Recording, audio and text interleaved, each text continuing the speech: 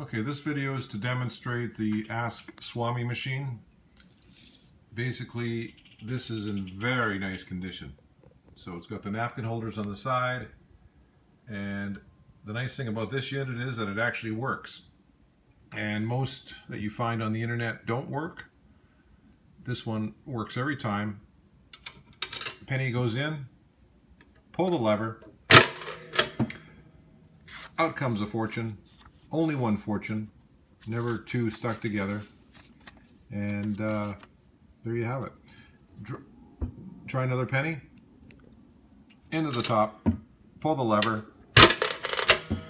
out comes a fortune, only one fortune, never two together.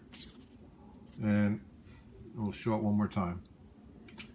Penny in, pull the lever, single fortune comes out the reason a single fortune comes out is that the, the unit is, is has been well looked after, it's been cleaned, and uh, it simply spits out a single fortune each time. Again, a lot of the units uh, will have two, three fortunes coming out at the same time. This one works perfect. So here we have it, the Ask Swami, the one cent fortune teller. Thank you.